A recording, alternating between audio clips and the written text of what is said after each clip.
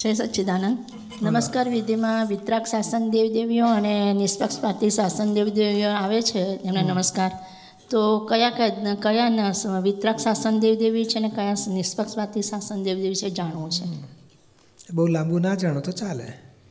એ આપણે ફોન કરીએ ને એટલે સેવન થ્રી ફાઇવ તો પેલા નંબર લાગશે. તો હવે મને ખબર નથી કેવી રીતે જાય છે એ જવાનથી એ પહોંચી ગયો ને એવું સમજી લેવાનું. આમાં વિતરાક એટલે શું? મહાવીર ભગવાનના એ તીર્થંકર ભગવાનના બે શાસન દેવ દેવી હોય એક દેવ અને એક દેવી. પદ્માવતીમાં જંપાર્શનાથ ભગવાન, એ બધા ચક્રેશ્વરીમાં, ઋષભદેવ ભગવાનના. એ પાર્શ એટલે યક્ષિણી દેવી પણ હોય યક્ષ દેવ પણ હોય. વિતરાગ રક્ષક દેવ હોય રક્ષક દેવી હોય. હવે નિષ્પક્ષપાતી એ થોડાક કોઈ પક્ષમાં પડતા નથી. એવાય હોય ઘણા. આ તો વિતરાગ ભગવાનના છે જ એમ. શાસન અધિકારી કહેવાય ભગવાન. એના રક્ષક દેવ દેવી અને નિષ્પક્ષપાતી ભાવવાળા ને આજે સાંઈ બાબાને જોઈએ ને તો બોલો કેટલાય લોકો હિન્દુઓએ માને મુસલમાનોએ માને. બધાએ માને છે ને એ નિષ્પક્ષપાતી કોઈ પક્ષમાં પડતા નથી એવા હોય છે. એમને નમસ્કાર કરીએ છીએ. બીજો પ્રશ્ન પૂછી લો. અંદર બીજો લખેલો જ પૂછી લો. હા મનુષ્યનું આયુષ્ય શ્વાસોશ્વાસ ઉપર નિર્ભર છે.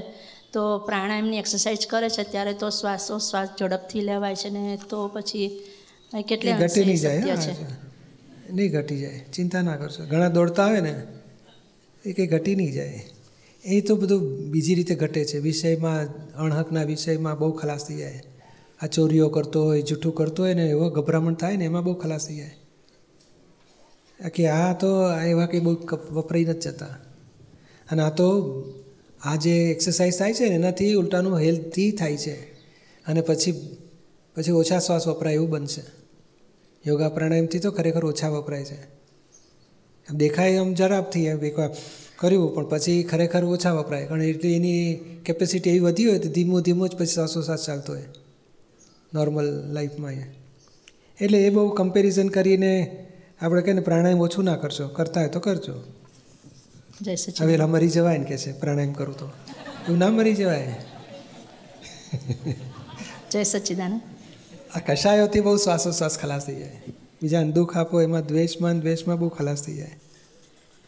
પૂજાભાઈ હા બોલો. આપતાવાણી નંબર પાંચ. આત્મા આત્મા ધર્મમાં પાન નંબર ત્રણ. હવે આમાં દાદા શું કહેવા માગે છે? કે ગમે તે કડું જીભ પર મૂકો કે ત્રટ ખબર પડી જાય. એટલે આ પાંચેય ઇન્દ્રિયો પોતપોતાના ધર્મમાં છે. હવે એવી પાછી પાંચ જ્ઞાનેન્દ્રિયો પોતપોતાના ધર્મમાં છે. દ્રવેન્દ્રિય ને ભાવેન્દ્રિય બેવ છે. દ્રવેન્દ્રિય ખલાસ થઈ જાય તોય મય ભાવેન્દ્રિય રહે. એટલે પાંચ દ્રવેન્દ્રિયોને ભાવેન્દ્રિયો બધા પોતપોતાના ધર્મમાં છે. આ સમજાવશો કે પેલું ભાવકર્મ કર્મ દ્રવ્ય કર્મ તો ખબર પડી જાય પણ આ ત્રણ ઇન્દ્રિયો છે એ કઈ? પાંચ ઇન્દ્રિય આ જ આ કાન નાક નાક દેખાય છે એ પાંચ. એ પાંચ અને પછી અંદર એ એ કાને શું સાંભળ્યું ને એ સમજણ ઉત્પન્ન થનારું રિસીવર હોય પાછો. એ ભાવ ઇન્દ્રિય કહે છે. એટલે જ્ઞાનનું ક્ષયોક્ષમના આધારે સમજાય ને કે આ કાને શું સાંભળ્યું એ. આ કાન જેમ થર્મોમીટર છે ને એ થર્મોમીટર ટેમ્પરેચર બતાડે, પણ થર્મોમીટરને ખબર ના હોય. એ પાછું જાણનારો હોય, એને જાણવાવાળું પાછું જ્ઞાન હોય કે આ આ સત્તાણું પોઈન્ટ પાંચ એટલે તાવ નથી એને. અને એકસો ત્રણ દેખાડે તાવ છે. એ સમજનારો પાછું જુદું હોય ને, એ ભાવેન્દ્રિય કહેવાય. અને આ દ્રવ્યેન્દ્રિય કહેવાય. કર્મેન્દ્રિય? કર્મેન્દ્રિય પાછી જુદી. એ કર્મેન્દ્રિય એટલે આ બે હાથ બે પગ આ ખાવું સંડાસ જવું પેશાબ કરવું એ બધું પાંચ કર્મેન્દ્રિય કહેવાય. અને આ જ્ઞાનેન્દ્રિય એટલે આ પેલી દ્રવ્યેન્દ્રિય અંદર ભાવેન્દ્રિય એટલે આ. આ પાંચ છે ને કાન આંખ નાક જીભ સ્પર્શ. એ સ્પર્શે પાછું શું સ્પર્શ કર્યો ને એ સ્પર્શ દેહને ખબર ના હોય પાછો. એટલે અંદર અંતકરણમાં ખબર પડી જ. હા એ ખબર પડે. એ સ્પર્શની ખબર પડે. આ જીભમાં કડવું છે તે એ જીભને ખબર ના પડે પાછું. એ પછી અંદર પેલો જાણનારો હોય. એ જાણનારી એ ભાવેન્દ્રિય કહેવાય. અને એની ઉપર આપણે છીએ. જ્ઞા જ્ઞાતા દ્રષ્ટા જ્ઞાયક ભાવવાળા જય સચ્ચિદાનંદ એટલે આ તો છેલ્લામાં સૂક્ષ્મ ફાઇન સ્લાઇસ બધી પાડી છે. ઝીણામાં ઝીણું કે ક્યાં સુધી આ બધા વચ્ચે એજન્ટો છે અને એજન્ટોને જાણનારો પોતે આત્મા છે. હિતેશ સજનાણી. આપણે ફાઇલ નંબર એક પાસેથી મોટેથી બોલીને શક્તિઓ મગાવીએ અને મનમાં ફાઇલ નંબર એક શક્તિ માગતો હોય તો બેયમાં ફેર શું પડે? તો તમારી એકાગ્રતા હોય તો બધી શક્તિ વધે. મોટેથી બોલતા હોય ને પછી પહેલાં જોતો આ કોણ ઉઠ્યું પાછું?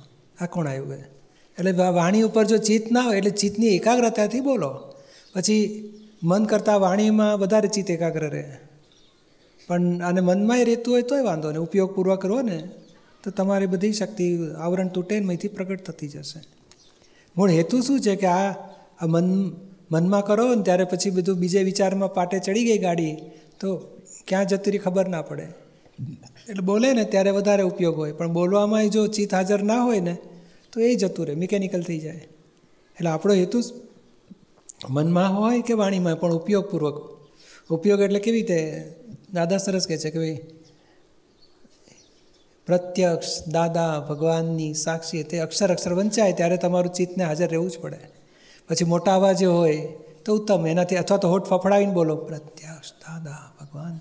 ત્યારે મેં એ પેલું મન બંધ થઈ જાય અને પછી વાણીનો ઉદય હોય અને પછી આ બાજુ શબ્દે શબ્દ વંચાય એટલે ચિત્તની હાજરી છે એટલે તમારો ઉપયોગપૂર્વક થયો.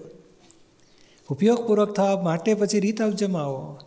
વાણી સારું છે વાણીથી બોલાય તો ઉત્તમ છે. સમજાય જોશી કૌશલ. બોલો જય સચિદાન હા. નોંધ ઉપરનો પ્રશ્ન છે કે એટલે કેવું થાય કે નોંધ સામેવાળો કોઈ વ્યક્તિ કંઈ બોલી જાય ને તો પછી ખ્યાલમાં ના રહે કે નોંધ રહી ગઈ છે. હવે થાય કેવું કે એ શું બોલી ગયો એ ખ્યાલમાં ના રહે એમ. બે પાંચ મિનિટ સુધી એવું લાગે કે ભાઈ એણે ખોટું કર્યું પણ પછી જ્ઞાન ગોઠવીને કે એવું ખબર પડે કે નિર્દોષ છે. પછી જ્યારે એનો સંજોગ આવે ને કે એ મુસીબતમાં આવે કે એને કંઈ પણ, તો ત્યારે ખબર નહીં એ વસ્તુ, એણે જે આપણને પેલું અપમાન કર્યું હોય કે ક્યાંથી આવી જઈશ ને ખ્યાલ નથી આવતો. ના, એ નોંધી રાખેલું હોય. એટલે આપણે જે, એ જે ફરી સંજોગ, એ વ્યક્તિનો ભેગો થાય ને મેં દેખાડે ને એટલે ત્યાં ચોખ્ખું કરવું પાછું. કે બુદ્ધિએ પકડી રાખ્યું છે કે એણે મને આવી કરેલું. ભૂતકાળને અત્યારે લઈ આવે ને પછી ભોગવટા ઊભા કરે. એટલે પાછો રીસેટ કરો જ્ઞાન. કહો એ શુદ્ધાત્મા નિમિત્ત નિર્દોષ ભોગવે તેની ભૂલ બન્યું તે ન્યાય. એટલે પછી ધીમે ધીમે પડો છું થતું થતું નીકળી જશે. સમજાય ને? એવું કર્યું છે કે? હા એટલે એમાં કેવું થાય કે ખ્યાલમાં ના રહે કે નોંધ રહી કે રાખવી પણ ન હોય. પછી પછી નીકળે ને એ વખતે કે ભાઈ હવે જો આણે આવું કર્યું તો યાદ આવે તો પછી ક્યારેક થઈ જાય સંજોગો વસાત નીકળીએ. એ પછી પણ એ નોંધીને એને પર દ્વેષ થાય વેરભાવ થાય એ એ બગડ્યું, એ પછી જાગૃતિ જ ના રહી કહેવાય. અંદર ઊભું થાય ને નિકાલ કરીએ, એટલો આપણી જાગૃતિ રહેવી જોઈએ. આપણને ખબર પડે કે આ કૌશલને ઊભું થયું. કૌશલને કહેવાનું, ભાઈ, ધોઈ નાખો, આપણે છૂટવું છે. શું કામ આ બધું સંઘરી રાખ્યું? નિકાલ કરી નાખો. અને પછી પાછે કેવું થાય કે હવે ધોવાનું ચોખ્ખું કરવાનું કેવું કરીએ ને તો પછી અમુક ટાઈમે કેવું હોય કે સામેવાળો એટલે જેની ઉપર નોંધ રાખી હોય ને, તો એ પણ સામેથી કે એટલે કાંઈ પછી બોલે નહીં કેવું કહે કે ભાઈ ભાઈ પછી તો તું નોંધ રાખીશ કામ કે એમ કે. તો ત્યારે એવું જ થાય કે ભાઈ હજી તારા માટે અભિપ્રાય છે કે એવું બધું હા, એટલે આપણે પણ પ્રતિકોણ કરીએ ને એટલે ઓછું થઈ જાય. આનો ઉપાય આ જ છે કે ભાઈ આપણે અહીં ઊભું થાય છે ને ચોખ્ખું કરો. અને પછી નિર્દોષ જોઈને કે એ બોલ્યા આવું, તો કે આપણો આપણને કેમ વાડ્યું? એટલે આપણો અહંકાર છે, ઘોડા ઉપર રહીશું અહંકારના. એટલે આક્ષેપ ભોગવટો આપે છે. એટલે ઉતરો, લઘુત્તમ થાવ. એટલે આપણે અંદર કશાય ઓગાડીએ અને નિમિત્તને નિર્દોષ જોઈએ. સમજાય ને? એટલે નહીં ભોગવટ જ્ઞાન બેસતું ના હોય, જાગૃતિમાં આવતું ના હોય, તો પછી ભોગવટો રહેતો હોય, તો મેં તપ કરવાનું. કે આ ફાઇલ વનને ભોગવટો રહે છે, એનું તપ. જોયા કરો. તપ ક- એટલે કેવું થાય જ્ઞાન ન ગોઠવીએ ને તપ કરે ને તો પછી એમાં ડિમાર્કેશન ખબર નથી પડી કે ત- તપ થયું કે સહન કર્યું કે કઈ એ ગમે તો હોય પણ તો આપણે લક્ષમાં રાખવાનું કે આ ફાઇલ વનને ભોગવટો આવે છે. એ પેલું માનનું છે અસર અપમાન લાગ્યું એનું દુઃખ છે એને. અને કહેવાનું આ માનમાં બેસવું છે કે શુદ્ધાત્મામાં આવવું છે? જ્ઞાનમાં જવું જ તારે. એટલે પાછા ફેરવ ફેરવ કરવાનું જે દાડે રોંગ સમજણ છૂટી જશે ભોગવટો ઓગળી ગયો હશે. અને તોય ભોગવટો કાળક્રમે ઓગળી જ જવાનો. તો આપણે જાગૃતિપૂર્વક ઓગાડીએ તો આપણે આત્મા જાગૃતિનો લાભ મળે. નહીં તો પેલું તો ધીમે ધીમે બીજી અવસ્થામાં જાઓ ને એટલે આ બંધ થઈ જાય થોડી વાર પછી. આ ઓળખી જવાનું કે આ પેલું અપમાનનું દુઃખ રહ્યું છે. એટલે માને કરી, નાને કરીને અપમાન ચોખ્ખું નથી કર્યું. અપમાન નાને કરીને ચોખ્ખું કરવું છે એ જાગૃતિ રાખવાની, નિશ્ચય રાખવાનો. જય શ્રી જે પેલા આપણે હોમવર્ક આપે એના કન્ટેક્સ્ટમાં આ પ્રશ્ન છે કે ફાઇલ વનમાં માન, ચલણ અને ધાર્યું કરવાની ગાંઠને લઈને સમય સમયે ભોગવટા આવે. દુઃખ નથી આપવું, એવું નક્કી કરીને વ્યવહાર કરીએ એટલે એટલે બહુ સ્થૂળ રીતે જ એવું નક્કી કરીએ. એટલે સામાનું અપમાન કરીને કે સામા પર ચલણ ચડાવી, ચલાવીને કે ધાર્યું કરીને કામ નથી કરવું, એવું નક્કી કરીએ. પણ એવા સમયે જો ફાઇલ વનનું અપમાન થાય ફાઇલ વનનું ચલણ ના ચાલે અને ફાઇલ વનનું ધાર્યું ન થાય તો ખૂબ જ ભોગવટા આવે અને વ્યવહારમાં સંકળાયેલી વ્યક્તિઓ પ્રત્યે દ્વેષ પરિણામ ઊભા થાય છે. ત્યારે સામાયિક વાંચન વાતચીતનો પ્રયોગ પ્રતિક્રમણથી થોડી રિલીફ રહે પણ મન બુદ્ધિની આર્ગ્યુમેન્ટ સતત ચાલ્યા કરે અને અહંકારનો ભોગવટો પણ રહે. તો આવા સમયે કઈ રીતના આમાં વધારે કરી શકાય? જેથી કરીને જ્ઞાને કરીને આ ભોગવટાને ઉગાડી શકાય. આપણી ગાંઠ તોડવી છે ને? હા ધાર્યું કરવાની ચલણની માનની. હા પૂજ્યશ્રી એટલે મારું ધાર્યું ના થાય. અને તમારું ધાર્યું થાય ને ત્યારે જ મને ખૂંચે ને. કે મારું ધાર્યું ના થયું. કે મારે મારું ધાર્યું કરવું છે અને તમે તમારું ધાર્યું મારી પર કરો એટલે મને ખૂંચે. બરાબર છે. એટલે ઉલટા તે વખતે જ ખુશ થાવ ને તમે અહંકાર પેલો ચચરે તપ થાય ને. બરાબર છે. કે મારું ધાર્યું નથી થતું એ માથે ચડી બેઠો હવે એનું ધાર્યું મારી પર કરે છે. તો કે આપણે ગાંઠ તોડવી છે ને. તો ઉપકાર માનો એનો. કે હારું થયું મારી ગાંઠ તોડી આપે છે. બરાબર અને ખરેખર પેલો ધાર્યું ના કરતો એ નોર્મલ જ હોય આપણે પેલું ખૂંચે. સાચી પણ આપણું ચલણ તૂટ્યું ને એટલે ખૂંચે પછી. પછી સીધો કરવા ફરીએ સામાને. એ તો એ નોર્મલ વ્યવહાર કરતા હોય કે ભાઈ આવું કરવાનું છે ને બધા ભેગા મળીને આવું નક્કી કર્યું ને આપણે આમ કરીએ છીએ. આપણને મેં કહી દે. એ જો પોતાનું ધાર્યું કરે છે. કારણ આપણું ધાર્યું ના થયું માટે. અને જે ભોગવટો એ ગાંઠ તોડવાનો અવસર કહેવાય કે આ ભોગવટો આવ્યો એટલે આપણે અંદર તપ કરવાનું કે આપણો રોગ કપાય છે. બરાબર. પેલો અપમાન કરે આક્ષેપ આપે એનું ચલણ ચલાવે એનું ધાર્યું કરે. આપણને તપ થાય અંદર. આપણું ધાર્યું ના થયું આપણું માન ના મળ્યું. અને એ તપથી એ ગાંઠો ગળશે બરાબર. એટલે મેં પેલો બન બુદ્ધિ ચિતંકાર કચકચ કરે ને તો એ તપ કરવાનું કહો આ તપ ખરેખર આવ્યું છે સારું થયું. ઉપકાર છે કે મારો રોગ કાપી આપ્યો. બરાબર છે.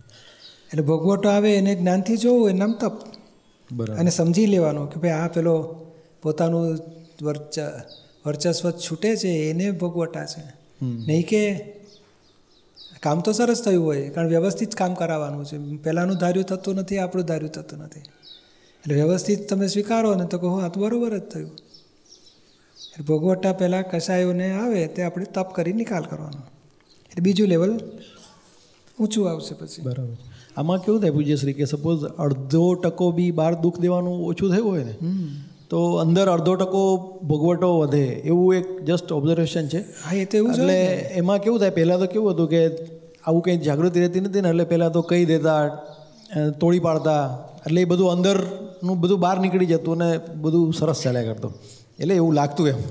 હવે કેવું થાય ખરેખર- આપણે બ્રેક કે આમ લાગીએ એટલે અંદર ઊભું થાય. ના ના પાંચ હજાર લેવા આવ્યો ને દસ હજારનું દેવું કરીને પાંચ હજાર ચૂક્યા. અને પાંચ હજારની મજા કરી લાગે ને આનંદ જ લાગે ને.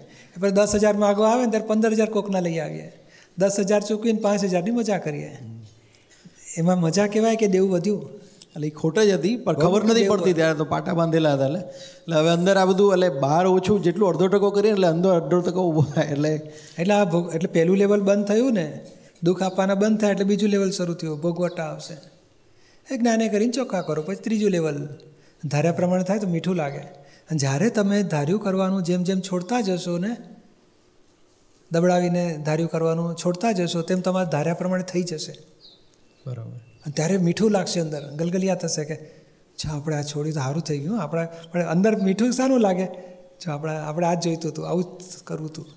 એ ધાર્યા પ્રમાણે થઈ ગયું એનું મીઠાશ ઊભી થાય.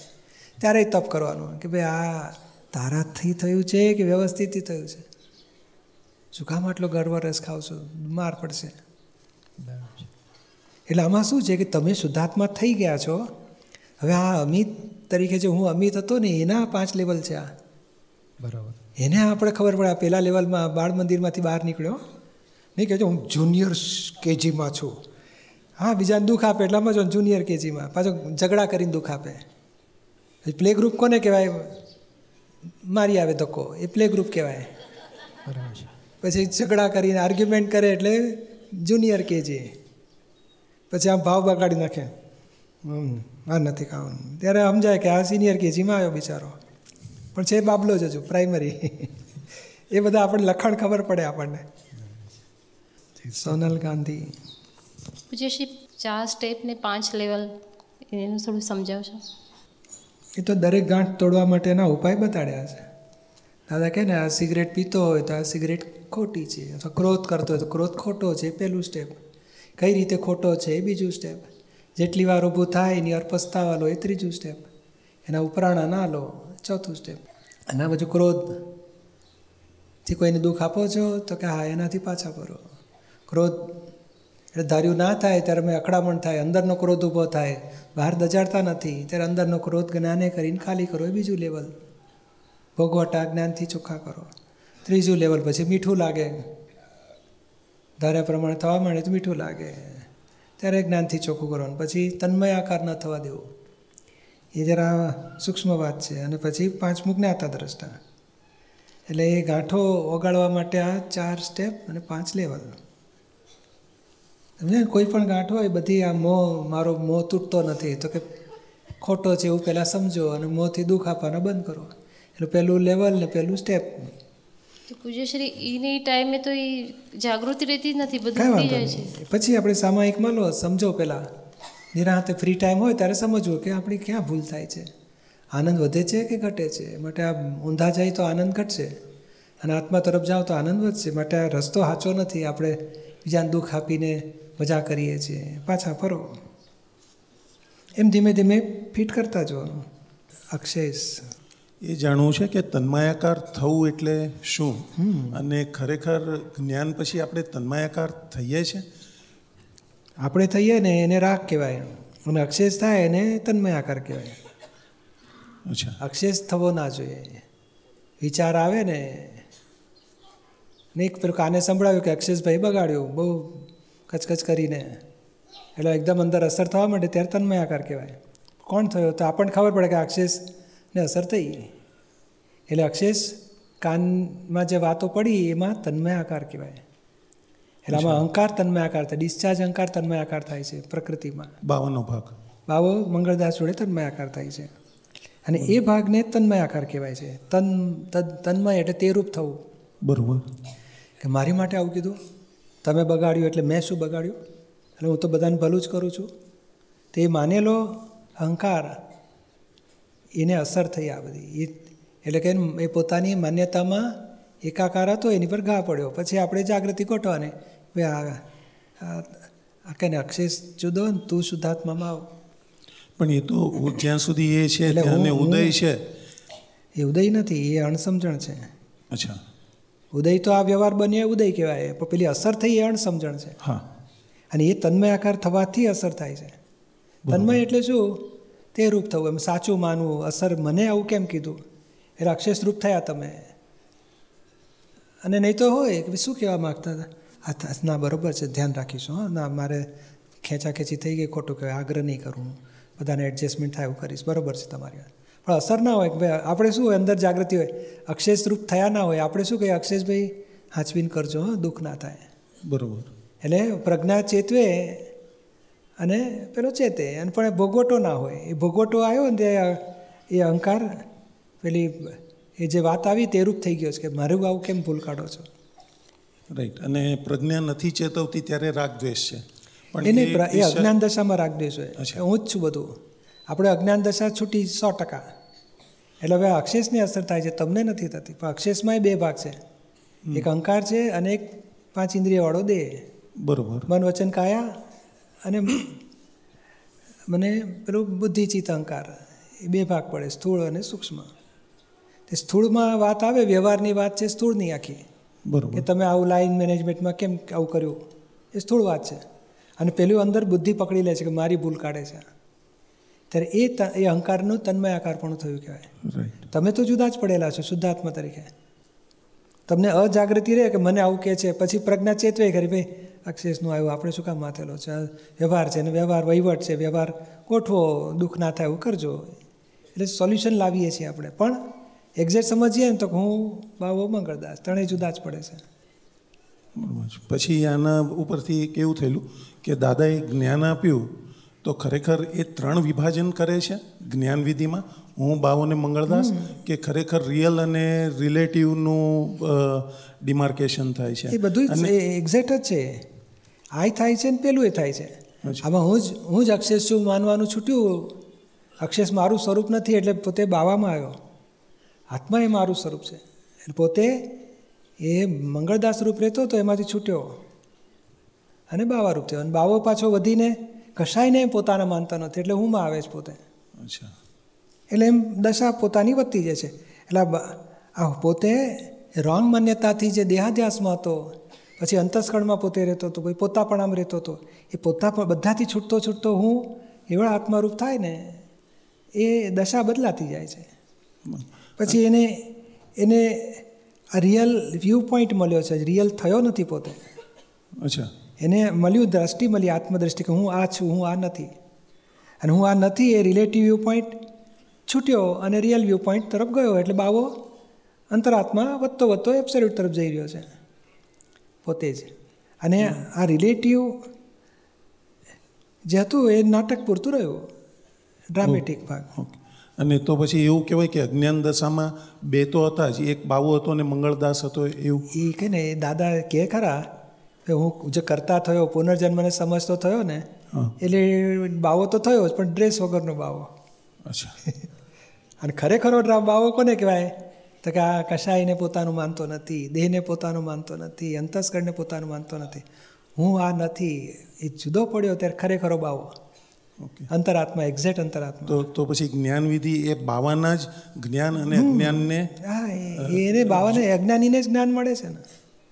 ઓકે. દેહને કે કાનને જ્ઞાન થોડું મળે છે.